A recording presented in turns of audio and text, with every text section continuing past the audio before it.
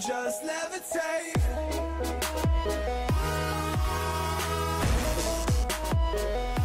Okay guys, we got new pictures of the SH Figuarts Jin Kazama from Tekken 8. As you guys can see here, obviously the release date, June 2024, we already went over it. The price is 8,000 yen.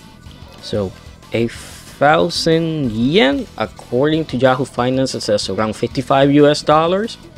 Now, doesn't look like this is a Premium Bandai exclusive, which is great, so there's no 10% to add to it. And if you ask me, he looks great. I mean, I like how he has even more hair separation now. Um, really well sculpted the hair. The face, mm, maybe that's pretty suggestive, you know.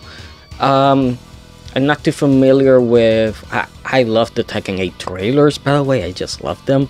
Uh, but I don't know if I'm too familiar, you know, with Jin enough to say, hey, that's pretty accurate. I mean, the jacket looks really great.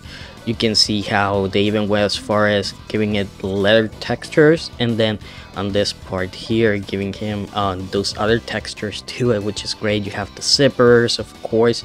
The glove looks pretty good but I have been told that the glove has um, something wrong with it which doesn't look correct. Now like I said not too familiar with the character so I cannot say um, but the hoodie looks good. Man i gotta say you know as a figure looks great. The fully articulated figure looks pretty nice. Of course he has the sh figure diaper. That that's with all sh figuarts that's kind of like their trademark now you know the sh figure diaper. You can see how he has all these zippers here and straps you can see that the gloves has um the metal oh man, I, I want to say like rivets, but maybe you know like metal balls or something like that. It's something metal or studs, whatever you want to call them, um, on it, which looks great.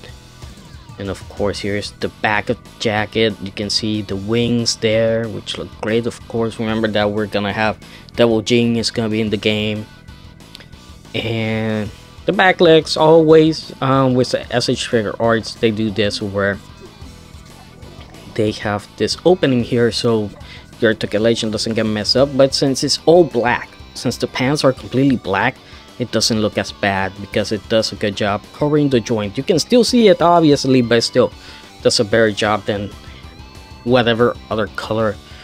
Uh, you know with other characters they're gonna not gonna look that good but with this one it looked good. Um, the elbows that's another joint that people are gonna complain about because I wish they would have given him like a little like elbow pad like this part here. They would have pushed it a little bit further up but still you know he has to be able to move and of course the cuts for the butterfly joints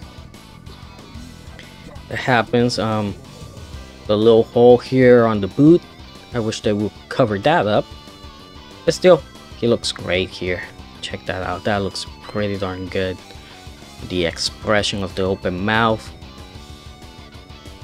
So you can hear from the side. Looking great. I mean, he's he's looking great. Obviously, uh, you know you're gonna have to deal with those holes because of the how the joints are. But like I said before, if you have if you have purchased any other SH Figuarts the same thing as with all of them. It's just how they're designed. Uh, I know they should do better, but for right now, this is what we're getting. You know. Still, this is gonna be an awesome figure to own. If you're a fan of Tekken, you're gonna love it. Like, check out the serious expression here. Now, this thing is a little bit odd. Is he supposed to have like these white marks here? all over the body, all over his face. Because you can see here, here, here, here, here, here, here, here. And he has them in the other pictures. Is he supposed to have this in this game? Does that mean like he doesn't have the he, he lost the devil gene? Is that what they're implying with this? But anyway, you get three different faces, which look great. They look great, and man, I'm pretty sure if you get it, this is gonna be pretty awesome. Now, if you ask me where is the release date is gonna be, I say keep an eye out tonight because there is gonna be a lot of pre-orders going up tonight, and they haven't specified the pre-order date, but it could be tonight, it could be um, at before the weekend or next week. It, this figure is pretty much, you know, almost it, it, it's pretty much already uh, ready for to go up for pre-order. So you just have to wait find your favorite website ami AmiAmi HobbyLink Japan Ninning whatever it is supposed to be called and just wait. Just I, I say camping because this is gonna sell pretty darn fast. This is gonna sell pretty fast pretty darn fast. Sadly I won't be able to pick it up because like I said I cut my budget for figures quite a lot this year um, unless YouTube pick up picks up or you know actual work picks up then I'm probably not gonna spend that much money on figures this year. But hey um, if I do get some extra cash I'll I'll think about it. So we'll have to wait and see. So I hope you guys enjoyed the video. Um, please like comment subscribe for more. And I'll see you guys next time